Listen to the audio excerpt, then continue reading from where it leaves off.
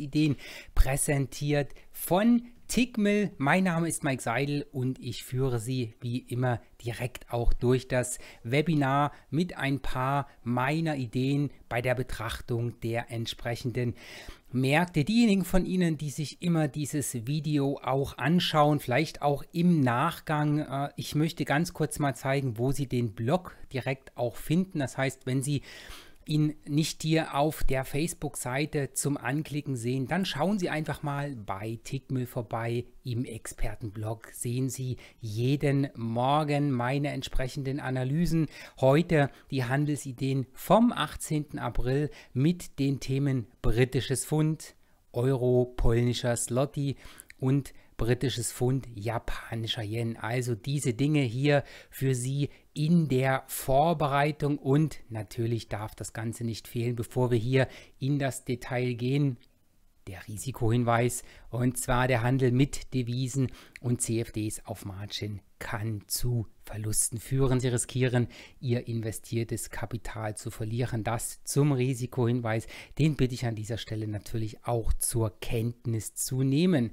Wie sieht es aus mit der Nachrichtenlage für den heutigen Handelstag? Nachrichten sind wichtig, liebe Zuschauer, weil diese Nachrichten können einfach die Preise unvorhergesehen bewegen. Deshalb ist es wichtig, gerade auch im kurzfristigen Handeln in der Marktvorbereitung auf wichtige Nachrichten des Handelstages zu schauen. Heute ist Mittwoch. Mittwoch ist immer wieder der Tag der Rohöllagerbestände. Sie sehen es auch hier mit dieser 16 Uhr 30 gekennzeichneten ähm, Zeile. Da gibt es die Rohöllagerbestände. Der Markt geht hier von einem leichten Rückgang des Öls auf. Bevor der Nachmittag startet, bekommen wir allerdings am Vormittag um 11 Uhr den Verbraucherpreisindex für die Eurozone genannt. Die Prognose ist hier stabil geblieben. Es wird mit einem Wert von 1,4 Prozent gerechnet. Was gibt es noch? Ähm, es gibt noch ein bisschen was um diesen Verbraucherpreisindex drumherum. Die Uhrzeiten hier in der Eurozone sind dann das gleiche.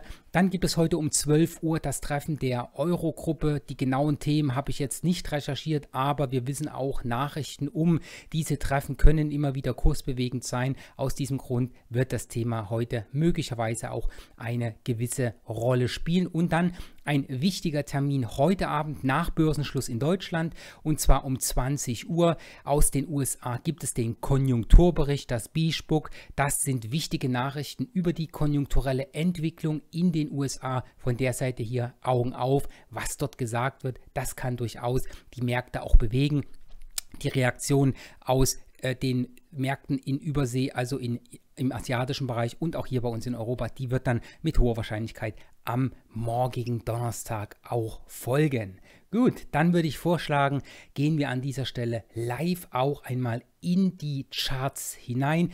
Wie schon gesagt, im Blogbeitrag haben Sie ja auch gesehen, es ist vorbereitet, britisches Pfund. Sie sehen die Handelsideen im Blogbeitrag auch immer etwas beschrieben, wo die wichtigen Werte herkommen. Äh, und ich bin neulich gefragt worden, Mensch, was bedeuten denn diese ähm, andersfarbigen Linien, die hier eingezeichnet sind? Diese leicht magentafarbenen Linien, das sind die, die ich aus der kleineren Zeiteinheit herausziehe, die ich dann im Chart auch verorte, die man hier im Tageschart nicht so sieht. Aber ähm, dieses Zusammenspiel der unterschiedlichen Zeiteinheiten ist halt wichtig. Da können gerade kurzfristige Trader wichtige Unterstützungslinien oder Widerstandslinien auch herausfinden. Und aus diesem Grund markiere ich die in den Charts immer etwas andersfarbig, damit man sieht, die kommen aus einer anderen Zeiteinheit. Das erkläre ich aber auch immer in den entsprechenden Webinaren an dieser Stelle auch für Sie. Also hier das nur kurz zur Information. Und ich würde vorschlagen, ähm, der Chart vom Great Britain Pound Japanese Yen ist gerade auch geöffnet. Das heißt, wir schauen einfach einmal in diesen Chart hinein und ähm, ja, schauen einfach mal, was der Markt hier in diesem Bereich machen kann. Sie sehen den aktuellen Trendverlauf im Chart. Wir haben hier über dieses Währungspaar ja schon einige Male gesprochen. Wir haben hier sehr schön diesen Aufwärtstrend, der hier schön nach oben gelaufen ist. Er hat den Abwärtstrend hier, diesen, ich zeichne Ihnen das am besten auch vielleicht gleich mal ein. Also das war jetzt im Endeffekt der vorhergehende Abwärtstrend gewesen. Der ist entsprechend auch gebrochen worden. Das sehen wir ja, weil dieser Trend über diese Marke hier drüber gelaufen ist. Also an dieser Stelle hier ist der Markt gebrochen worden und untergeordnet hat sich hier sehr schön ein Aufwärtstrend gebildet, dessen letzte starke Bewegung Bewegung massiv nach oben gelaufen ist, ohne großartige Korrekturen. Ne? Wir sehen das ja hier im Vorfeld. Da gab es auch immer mal ein paar Tage Korrekturen nach so einem Anstieg. Hier hatten wir nichts dergleichen. Hier gab es mal einen Tag, ähm, der sich etwas seitwärts bewegt hat und danach ging es gleich wieder nach oben. Das heißt wirklich sehr, sehr starke Performance hier in diesem Bereich auch im Markt gewesen. Und jetzt sind wir in einem Level angekommen hier am, am wann war der Handelstag? Am 13. April sind wir das erste Mal in diesem Widerstandsbereich um die 153,8 hineingelaufen. Und wir sehen momentan, der Markt läuft immer mal hier oben rein und wird dann wieder etwas nach unten abverkauft. Das heißt, wir haben hier schon einen Widerstand, der eine gewisse Relevanz im Markt hat. Aber nichtsdestotrotz, diese Linie ist eine schöne Linie. Warum? Ganz klar, hier gibt es zwei Szenarien. Entweder der Markt schiebt nach oben, das ist Szenario 1, dann liegen hier die nächsten Widerstände auch relativ eng beieinander. Sie wissen, das kann immer ordentlich Bewegung bringen. Das heißt, wir haben die Widerstände hier um die Bereiche von 1,5424, 1,5473 äh, und die nächsten dann hier oben auch ganz nah zusammen in dem Bereich zwischen 1,55,3 und 1,56. In diesem Bereich liegen einige dieser Widerstandslinien. Ich habe Ihnen das hier eingezeichnet, diese Bereiche, die sind wichtig, die können auch relativ schnell angelaufen werden, wenn es hier zu ordentlich Dynamik kommt nach oben hin. Das ist die eine Seite, das Szenario auf der oberen Seite. Das Szenario auf der unteren Seite, ganz klar, es kann natürlich auch passieren, dass diese, diese, diese Seitwärtsbewegung, man bezeichnet das auch gerne als Korrektur über die Zeit. Ne? Hier geht es also nicht über die Preistiefe in die Korrektur, sondern über die Zeit etwas seitwärts, hat sich hier auch eine gewisse Trading Range gebildet. Es kann natürlich auch passieren, dass der Markt hier nach unten läuft, das heißt diese Seitwärtsbewegung beendet und doch noch etwas tiefer korrigiert. Das kann ohne weiteres passieren, ohne das große Gesamtbild hier zu zerstören. Dann heißt es natürlich hinschauen, wer kurzfristig agiert, kann dann natürlich hier auch die Korrektur nach unten hin etwas traden. Da macht zum Beispiel auch der Blick in den Stundenchart mal in meinen Augen Sinn. Ähm, da sollten wir dann natürlich Abwärtstendenzen sehen. Das heißt, wir haben es ja hier gesehen, der Markt ist hier oben reingelaufen, hat dann einen Abwärtstrend gebildet. Das lässt sich dann natürlich über die kleinen Zeiteinheiten im 5-Minuten-Bereich beispielsweise auch relativ gut traden, hier von der oberen Range-Seite auf die untere Range-Seite. Diese Dinge, jetzt sind wir wieder nahe der Range auch angekommen. Also ich glaube, Sie wissen, was ich meine. Diejenigen von Ihnen, die sowas kennen, Fokus auf solche Bewegungen und dann ist im Endeffekt die entsprechende Handelsidee schon da und dann entsprechend durch Ihre Signale auch tradebar auf alle Fälle. Ne? Das also für das kurzfristige Trading könnte das dann nach unten gehen, um hier im Gesamtbild etwas Korrektur zu machen. Und ähm, das wäre auch vom Prinzip her eine, eine Situation, die auch nicht weiter schlimm wäre, weil wenn wir uns nochmal den Tag anschauen, der Tag ist wirklich schön aufwärts gerichtet hier in diesem Bild und ist halt weit gelaufen. Und es kann auch dazu kommen, dass die Korrektur in dem Bereich von 50 Prozent nach unten geht. Und wenn wir da mal die entsprechende Bewegung von hier messen, einfach mal zu sehen, wo ist denn die 50%-Marke. Schauen Sie, wir sind hier oben in diesem ganz, ganz kleinen Bereich. Also das heißt, es ist momentan eher eine Seitwärtsbewegung. Die Korrektur kann ohne Probleme auch bis in diesen Bereich hier unten laufen, in den 50er, 50%-Bereich rein, um die ähm, 149,7. Also beziehungsweise entschuldigen Sie, die Zahl kann ich noch richtig sagen, also die 50%-Marke wäre hier bei 149,326 in diesem Falle. Also hier ist noch einiges an Bewegung auch nach unten möglich, wenn wir hier eine tiefe Korrektur bekommen. Beide Szenarien natürlich immer spielbar, was der Markt auch daraus macht. Schauen wir auf das nächste Währungspaar, auch wieder ein Währungspaar, das nicht ganz so oft in den Fokus vieler Anleger äh, bzw. Akteure im Währungsmarkt liegt. Und zwar habe ich hier für Sie vorbereitet einen Blick auf das Währungspaar Euro polnischer Slotty, also eher eine Nebenwährung, aber auch in Nebenwährungen kommt es hin und wieder zu interessanten ähm, Entwicklungen.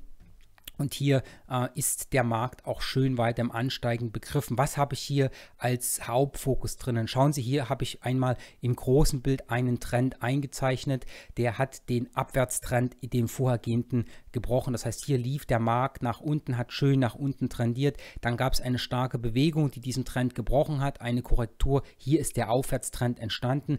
Und jetzt ist der Markt sehr, sehr, sehr tief unten reingelaufen und hat im Endeffekt jetzt hier gestern diese rote Kerze, diese rote Pfeil markiert die entsprechende Kerze, hat hier entsprechend gestern ein erstes Umkehrsignal in einer ganz, ganz tiefen Korrektur geliefert. Und Sie wissen, es ist ja genial, wenn sich so eine Bewegung dann fortsetzt. Schauen Sie mal, was wir hier oben hin bis oben hin an Potenzial haben, ähm, den Markt nach oben hin zu kaufen. Das heißt, wenn es hier wieder zur Stärke kommt, dann haben wir wahnsinnig Potenzial auf der Oberseite. Und das ist genau der Hintergrund dieser Idee, was wir hier machen. Und da blicke ich mit Ihnen einfach mal in den Stundenchart hinein, weil ich hatte im Blog auch geschrieben, diese Kerze muss natürlich bestätigt werden. Und so eine Bestätigung funktioniert sehr, sehr gut, beispielsweise über die Trendverläufe der unteren Zeiteinheit. Und das machen wir einfach mal. Schauen Sie hier, sind die letzten ähm, Bewegungs- und Korrekturarme des Abwärtstrends einmal eingezeichnet. Hier ist der Abwärtstrend gebrochen worden. Wir haben hier untergeordnet einen eingezeichneten Aufwärtstrend im Markt schon. Der hat jetzt über die Nacht so ein Korrekturmuster, beziehungsweise über die Nacht sage ich schon, über den gestrigen Abend und die Nacht ein schönes Korrekturmuster